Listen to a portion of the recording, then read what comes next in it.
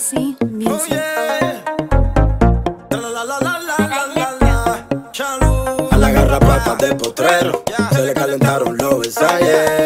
Pa' que aprenda de una vez y se calle. Tú no te quieres un cartón de huevo, en tu cara todo se te trae. Tú no respetas lo que pasa en la calle.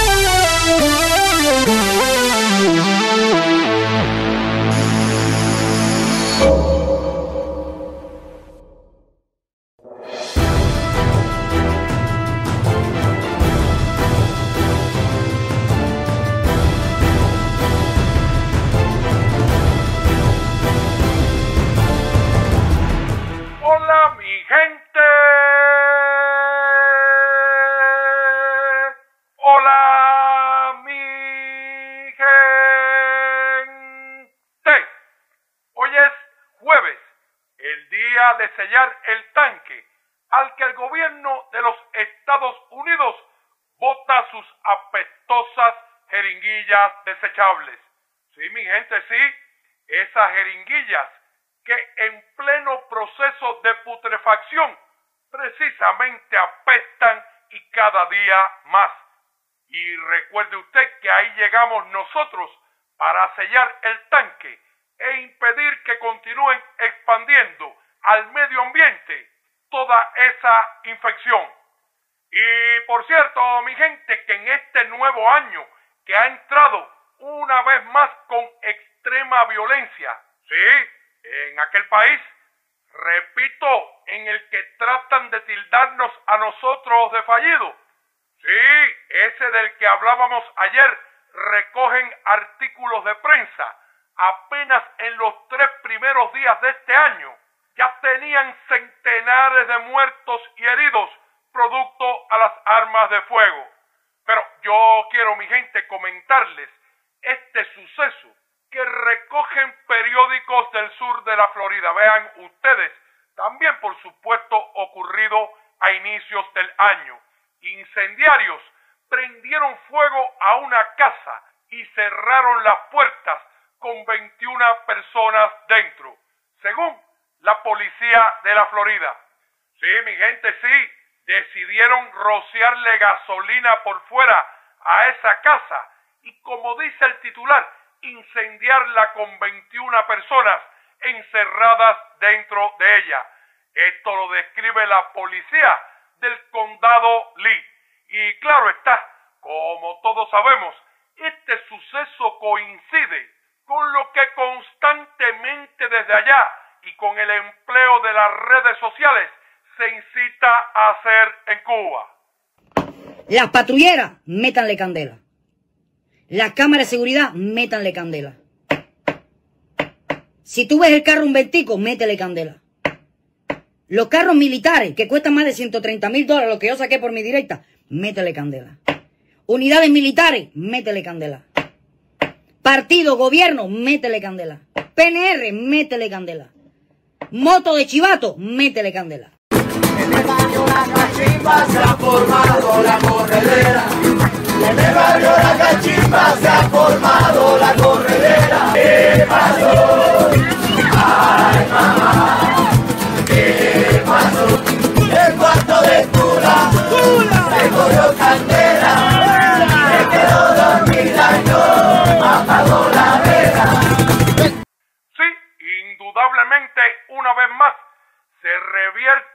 Contra la propia sociedad norteamericana todo aquello que constantemente se permite, inciten a hacer en Cuba. Una vez más, retorna el boomerang a aquellos que lo lanzan, ¿eh? Pero ustedes recuerdan, mi gente, cómo en lo que leíamos ayer se recogía la preocupación que ahora mismo existe en aquel país relacionada con la creciente cifra de niños que continúan muriendo por las armas de fuego y a manos de sus padres. Sí, esa seria preocupación que tienen las organizaciones que en aquel país recopilan los datos relacionados con la violencia con armas de fuego. Bueno, pues todos mi gente pudimos ver en las últimas horas esta muy pero muy triste noticia que recorre numerosos medios de prensa y que indudablemente es un ejemplo más de lo poco pero de lo poquitiquito que por allá se garantizan los derechos humanos principales de los niños. Escuchen esto, mi gente, que además se agrega a la muy triste cifra que dábamos a conocer ayer. ¡Pulo! Albert Estudio. Sin duda una tragedia, se sigue investigando lo que pasó. Se trata de ocho personas de la misma familia, cinco de ellos eran menores de edad. Fueron encontrados el miércoles por las autoridades en su casa en la ciudad de Enoch, en Utah. La policía dijo en un comunicado que cada uno parecía tener heridas de bala en el cuerpo. Este caso que además ha estremecido, de verdad, desde que se supo eh, a todos, por supuesto, por la crudeza de una tragedia de estas dimensiones, pero sobre todo por los involucrados. Estamos hablando de niños. Así es, sin duda algo que pues preocupa, tiene lleno de tristeza, de incertidumbre. La comunidad sufren la muerte de amigos, de compañeros y a la vez no saben exactamente lo que llevó a esa tragedia. ¿Lo vieron, mi gente? Cinco niñitos, sí, cinco niñitos asesinados a balazo limpio. ¿Cuántos hechos más continuarán ocurriendo allí para que se ponga freno a la venta desmedida y al por mayor de armas de fuego, sin que importen absolutamente para nada la vida de los niños? Armas, drogas, desgracias por doquier. Sí, en el país más rico del mundo en cuanto a dinero, pero indudablemente el más pobre en cuanto a preservar la vida de sus niños. Sí, mi gente, sí, porque si la quisieran preservar, ¿cuántas pero cuántas vidas se habrían salvado? Claro que continúan los que tienen que resolver el problema mirando hacia otro lado y una buena parte de ellos, desgraciadamente, enriqueciéndose a costa de esas muertes. Estos son los temas que verdaderamente debían preocupar a todo ese andamiaje mediático que solo se dedica a atacar a Cuba con mentiras, ¿eh? Pero les propongo algo, mi gente, ya que estamos hablando sobre el tema, vamos a escuchar una de las tantas contradicciones que caracterizan precisamente a esas campañas perennes de mentiras contra nuestro pueblo. ¿Sí?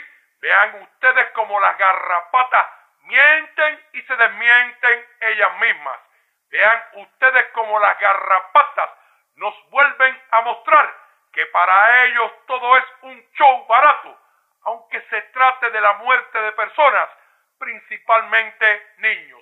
Escuchen esto, mi gente, y después, claro está, después comentamos. ¡Ponlo! Alex Estudio. 14 agentes transmisores, eso que anda.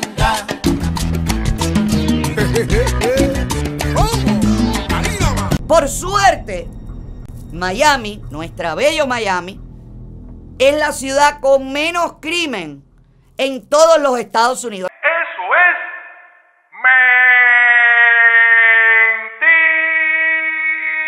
mentira. Un país en total crisis. Esto es una crisis real. ¿Vieron las imágenes el fin de semana de fin de año de loco aquí en Miami?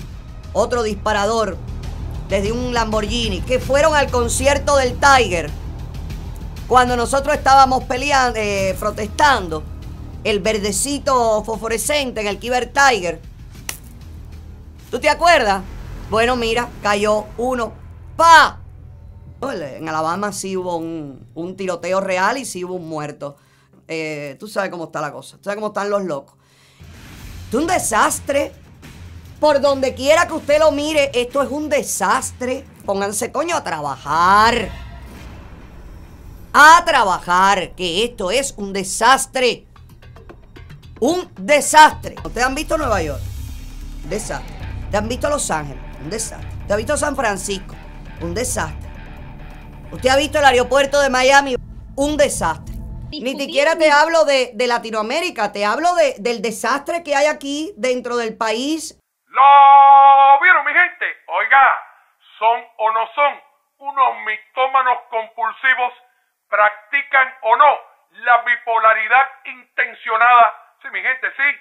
Una vez más lo repito, se burlan permanentemente de todo el que escuche esa basofia.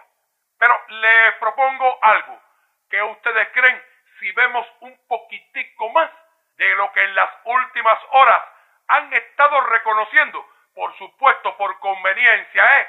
para atacar a otros, pero han estado reconociendo las garrapatas sobre la situación que existe ahora mismo en aquel país. Sí, mi gente, sí. Escuchemos cómo las propias garrapatas dejan en claro que para nada son casuales ni aisladas muertes tan terribles como esas de pequeños como las que están dando las noticias en las últimas horas.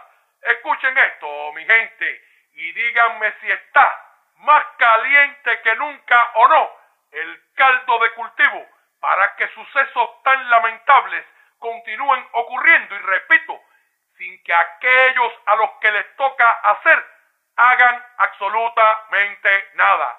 Y por el contrario, continúen atacando y mirando hacia países como Cuba, en los que debían ver un ejemplo a seguir en estos temas. Ponlo, Albert Estudio. Mira Nueva York, mire qué bonito. Mire cómo celebró Nueva York, cómo esperó Nueva York las 12 de la noche, el cambio de año, cómo se recibe el 2023 en una ciudad que se está cayendo a pedazos con gente drogada por todas las calles, bueno, en todas las calles no, en las calles donde están, y que parecen zombies, con un nivel de violencia tremendo, pero bueno. ¿Lo vieron, mi gente? Lo están diciendo las garrapatas. Aquel país se cae a pedazos. La gente drogada pulula en sus calles. Parecen zombies. Los niveles de violencia son tremendos. Pero eso sí, ahí falta algo, mi gente. Sí, las garrapatas, como usted ve, tratan de señalar a otras ciudades en Estados Unidos. Pese a que, como ya también vimos, ellos saben bien cómo está ahora mismo San Nicolás del Peladero. Pero les propongo algo. Vamos a ayudar a las garrapaticas. Vamos a ponerle, mi gente, apenas breves fragmentos de lo que ha estado ocurriendo en el propio San Nicolás del Peladero en las últimas horas. Vean ustedes cómo están allí también completamente desparramados los niveles de violencia, los niveles de disparos con armas de fuego y por supuesto está más que latente el peligro absolutamente para todo el mundo de ser alcanzado por uno de esos proyectiles. Escuchen esto, mi gente, repito, de las últimas horas. Y recuérdelo, esto es lo que publican, ¿eh? Ponlo, Alex, estudio. Vivió minutos de pánico cuando el acusado le disparó repetidas veces sin motivo aparente aquí en plena vía pública. Una alerta de cinco disparos a través del sistema Shot Spotter movilizó a las autoridades a las 8 y 42 minutos de la noche de este martes. Y él explica de que estaba parado en lo que es eh, la, luz en la 36 y Biscayne Boulevard, esperando que cambiara la luz, cuando un hombre se le acercó, le disparó un sujeto que hemos arrestado en este caso, de que él no estaba muy bien de la mente, eh, le pensaba de que las personas lo estaban persiguiendo, que le estaban hablando y pensaba de que esta persona, que era la víctima, le estaba persiguiendo. Por lo menos en esta zona de acá últimamente se está poniendo muy, muy incómodo porque hay muchas personas en la calle, de la calle, entonces uno con qué miedo a veces amanece, va a los trabajos y todo el mundo es el temor de ellos porque uno nunca sabe qué es lo que ellos pueden hacer. Autoridades de Miami-Dade investigan una disputa entre dos hombres que dejó a uno de ellos herido de balas. Según el reporte, ocurrió en la cuadra 142-51 del suroeste y la avenida 132. Y un hombre perdió la vida en un tiroteo en el 82-31 del suroeste y la 4 Court. Esto es en North Lauderdale. A eso de las dos y media de la madrugada de hoy, autoridades de Broward se encuentran investigando en la zona donde están entrevistando a testigos. Ahí lo tienen, mi gente, sí en esa ciudad que dicen las garrapatas es la más tranquila de aquel país, vean cuántos tiroteos se suscitan a diario. Oiga, lo repito una vez más, si esta es la más tranquila, los fósforos con las peores. Pero usted escuchó, sí, uno de esos últimos tiroteos ocurridos en Miami, como una persona dentro de su carro, detenido en un semáforo, es tiroteada sin motivo alguno. Bueno, usted acaba de escuchar las causas. Sí, es que allí absolutamente cualquier enfermo mental como este relacionado con el suceso puede facilito, facilito acceder a un arma de fuego. El tipo sueña con que lo están persiguiendo, ve fantasmas por doquier, pero tiene un arma de fuego para disparar cuanto le plazca a esos supuestos fantasmas. Y ni hablar, ¿verdad? El pueblo de Miami lo deja clarito, clarito.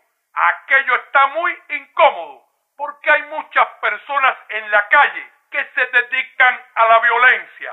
Van con miedo para sus trabajos y se sienten completamente inseguros.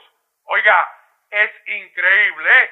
que en una ciudad así, con ese tipo de hechos ocurriendo constantemente, con ese miedo perenne en sus habitantes, tenga una prensa y plataformas digitales que se dediquen a mirar para Cuba, que se dediquen a mentir sobre Cuba, fundamentalmente en temas relacionados con esto que sucede por allá, fundamentalmente también tratando de emplear a Cuba como cortina de humo para tratar de tapar esa realidad que los aplasta completamente.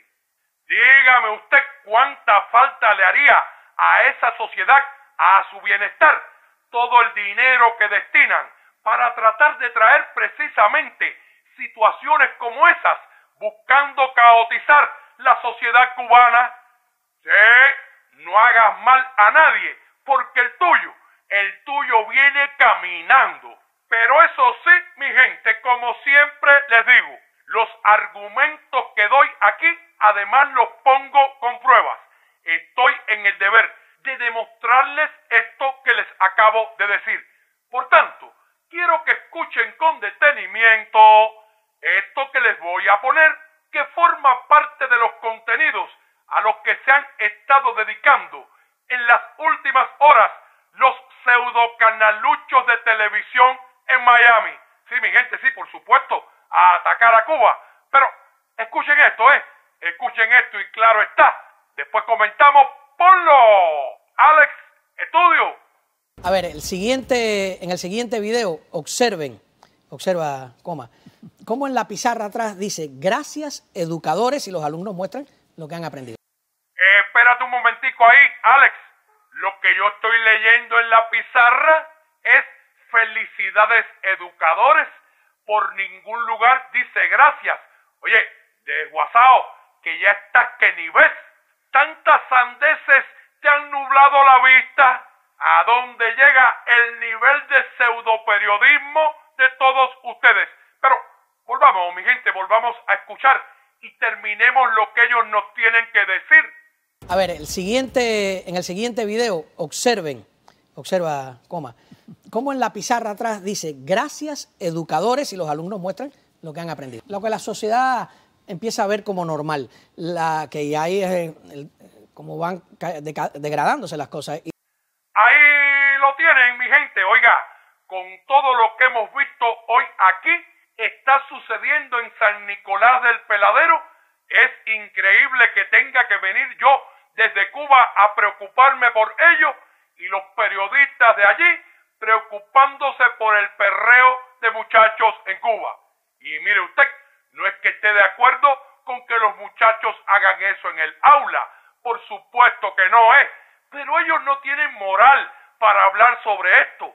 Tienen tantos, pero tantos problemas de que ocuparse y precisamente relacionados con sus muchachos, es inadmisible que continúen mirando para Cuba.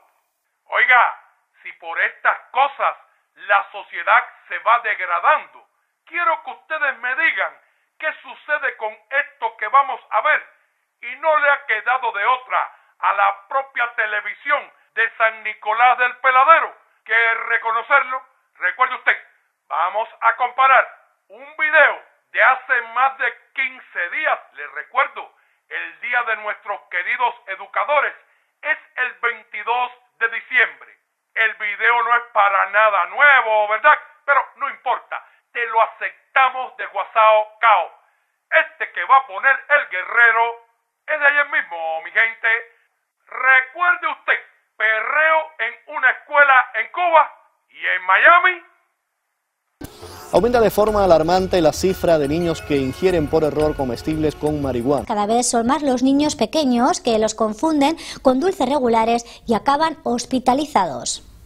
Nuevos datos muestran un incremento alarmante de niños pequeños que ingieren accidentalmente comestibles de marihuana en todo el país, donde cada vez más estados legalizan el cannabis recreativo. Algunos de estos comestibles vienen en forma de galletas, dulces, gomitas, pasteles de chocolate y otro tipo de productos muy atractivos a los ojos de los más pequeños. Según el Sistema Nacional de Datos sobre Intoxicaciones, entre los años 2017 y 2021 hubo más de 7.000 casos reportados por comer cannabis comestible en niños menores de 6 años. ¿Lo vieron, mi gente? Sí. Ellos están muy preocupados porque dos niños perrean en un aula en Cuba. Pero evidentemente no están preocupados, ¿eh?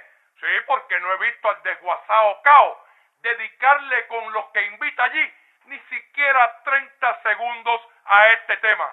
no están preocupados porque aumenta de forma alarmante la cifra de niños que continúan ingiriendo comestibles con marihuana.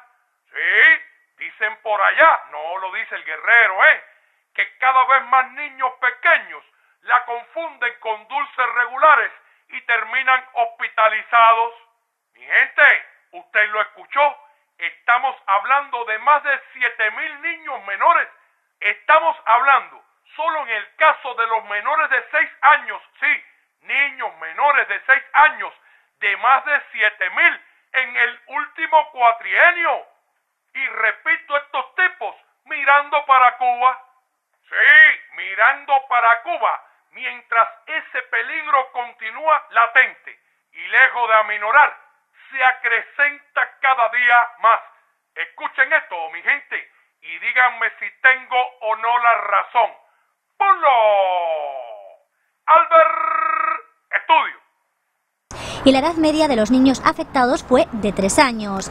Y la edad media de los niños afectados fue de 3 años. Alrededor de una cuarta parte de ellos tuvieron que ser ingresados en el hospital, incluido el 8% en cuidados intensivos. Bueno, de- de- inicialmente los efectos iniciales va a depender de la cantidad de producto que el niño haya consumido y puede pasar de la somnolencia el niño o el niño empezar con proceso de agitación, el niño puede empezar con sudoraciones y el niño puede llegar inclusive a convulsar. Los casos reportados son mayores en aquellos estados en los que se permite el uso recreativo del cannabis en adultos.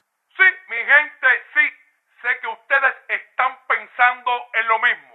¿Cómo es posible que en un país que ahora mismo enfrenta esa situación que se describe, se continúen dando pasos agigantados para continuar autorizando el expendio completamente libre de esa droga y por supuesto de los alimentos que la contienen?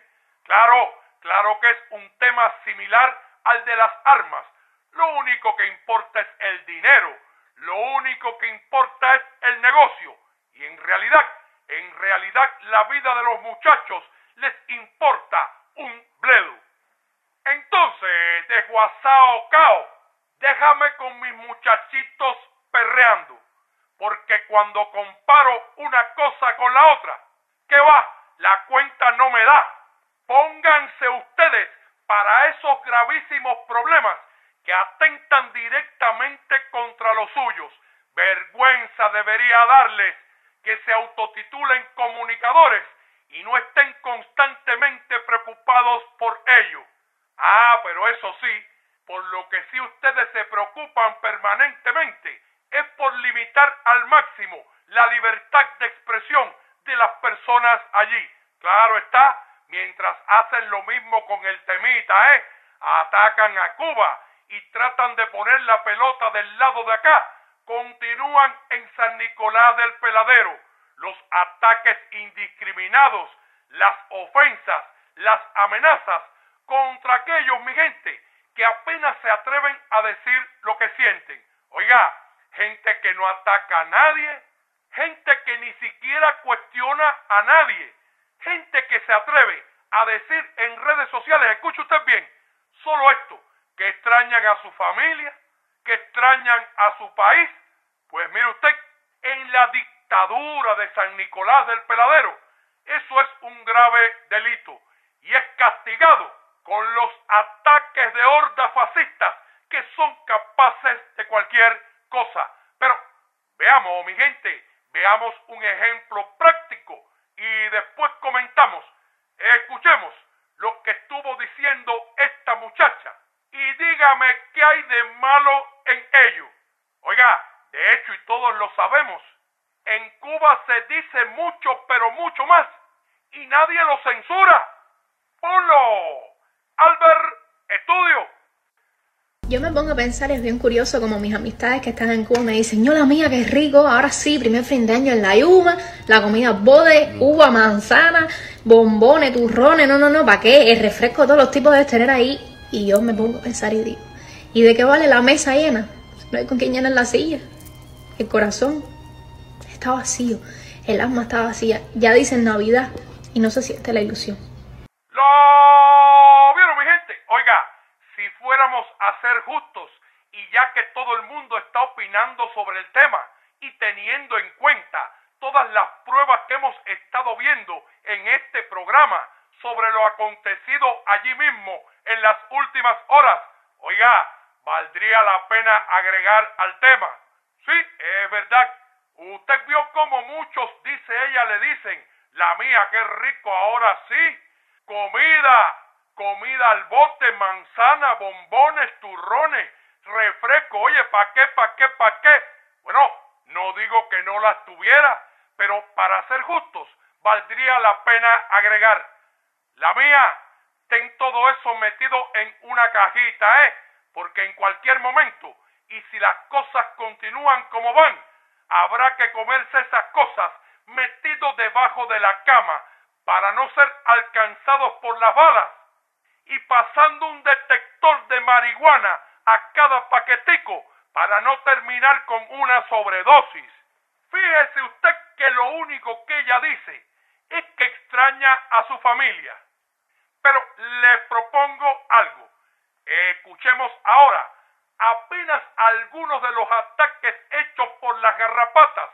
Y lo repito, compruebe usted una vez más lo bien que anda la libertad de expresión en Miami. Saque usted una vez más la cuenta donde en verdad opera una dictadura malvada. Ponlo, Alex Estudio. No, no. No, no, no nos olvidemos de esto, que estamos frente a muchachitos que han crecido comiendo picadillo de soya. Gente sin vitamina, gente sin ningún tipo de alimentación correcta, gente con varias funciones atrofiadas. ¿Estamos, estamos claros de eso o no estamos claros de eso? Bueno, mi vida, tienes que reclamar a tu familia. Cuando tú tengas tus papeles, tú tienes que reclamar a tu familia y traes y llenas la mesa. Oiga, como usted acaba de ver, estoy demostrando con sobradas pruebas una vez más que se constituye en un pecado capital en San Nicolás del Peladero. No ya solo decir lo que usted piensa, ¿eh?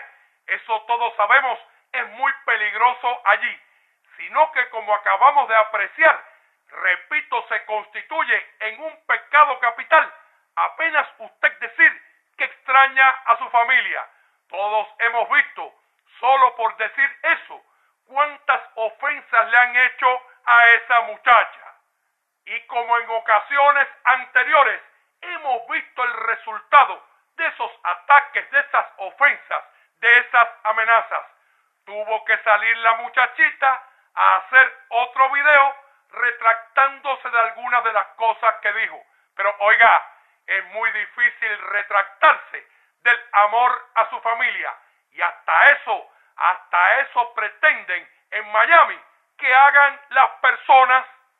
Esto demuestra una vez más la razón que tenemos cuando planteamos que esa comunidad está secuestrada por grupitos fascistoides que responden a lo peor de lo peor dentro de la política norteamericana.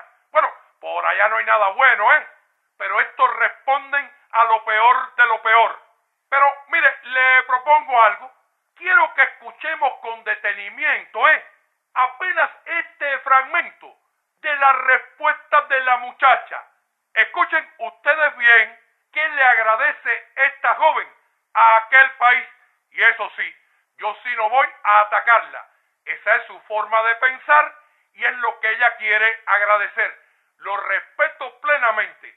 Vamos a escucharlo y después les comento, mi gente, sobre el tema al que me quiero referir. ¡Ponlo! Albert Estudio. Bueno, para todo, la verdad que nunca pensé que mi video anterior fuera a crear tanta polémica. Yo estoy sumamente agradecida con este gran país por darme la oportunidad de estudiar, de trabajar, de seguir superándome. ¿Lo vieron, mi gente?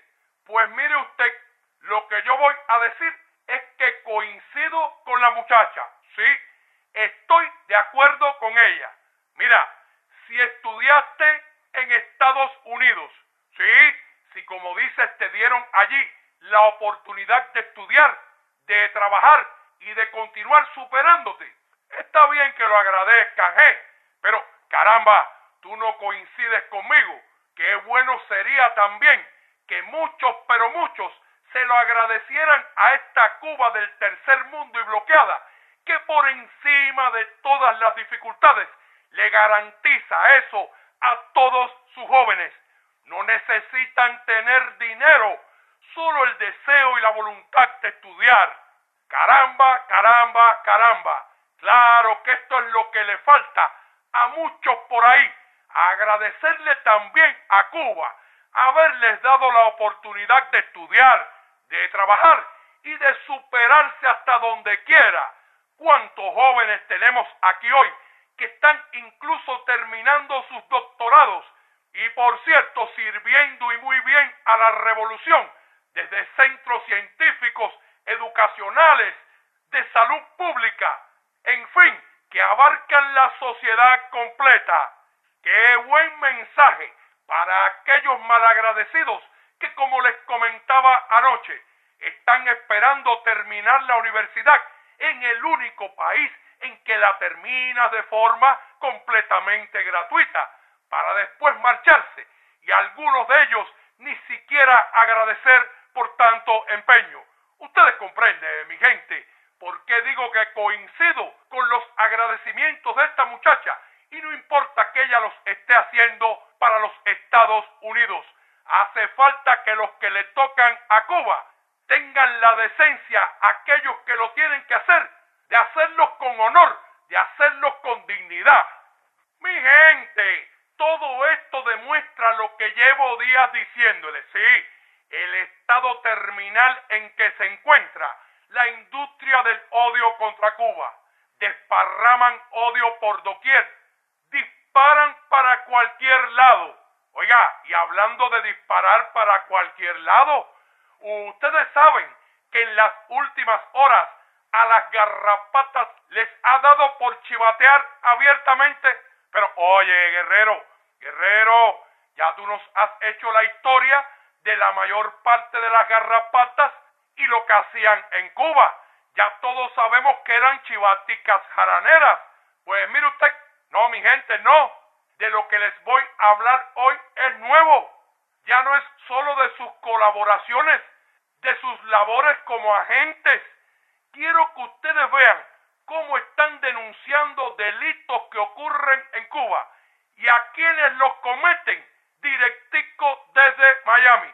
Pero oiga, antes de llegar a ese caso, quiero que vean también cómo en las últimas horas también están echando para adelante a los de ellos, precisamente allí, en San Nicolás del Peladero. Dígame usted si lo llevan en la sangre o no. Dígame usted si nacieron o no para rendirse ante el mejor postor. No hay lealtad, no hay amigos, lo único que hay es dinero, show, chisme y brete. Compruébelo usted una vez más. ¡Polo! Albert Estudio. Chocolate es el vivo ejemplo de que en este país no hay...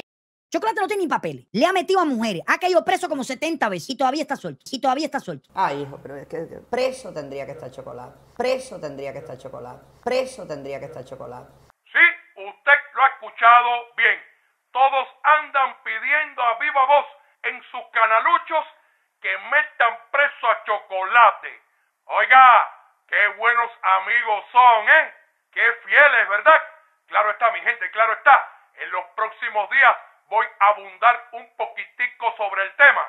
Claro, porque como les he estado diciendo, ahora estoy en el tema de la chivatería abierta que en su perdedera están llevando a cabo los garrapatones anticubanos. Sí, apenas les puse este entrante relacionado con lo que hacen contra los suyos allí mismo en San Nicolás del Peladero.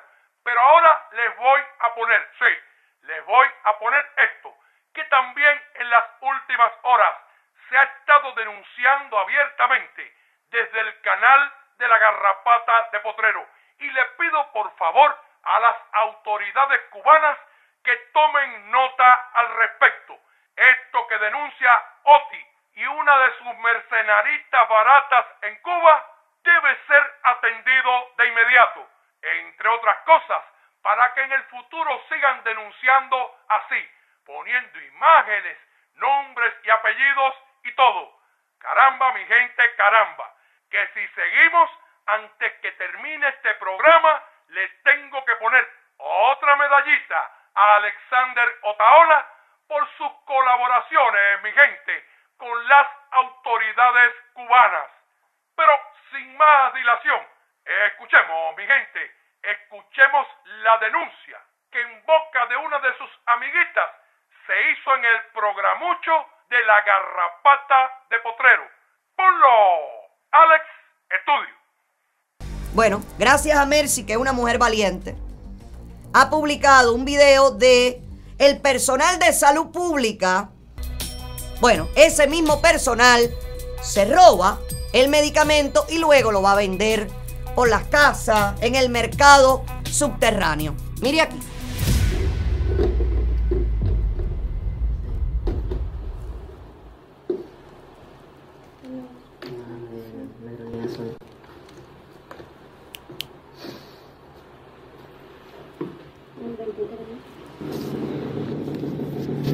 ¿175 ámpulas?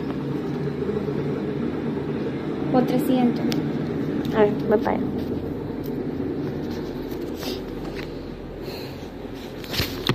Tres hidrocortisona, 12 destroza, 12 falexina. No, pero además tengo grabado para que además ustedes se ocupen de lo que ustedes se ocupan de la venta que hay masiva de medicamentos en los hospitales, de terapia intensiva, que hay se venden también oxilina y lo cortisona, todo, cosa que yo no he ¿De podido dónde? comprar ¿Pero de dónde? ¿De dónde en el son? hospital La Covadonga. Ah, ya, pues, ¿sí?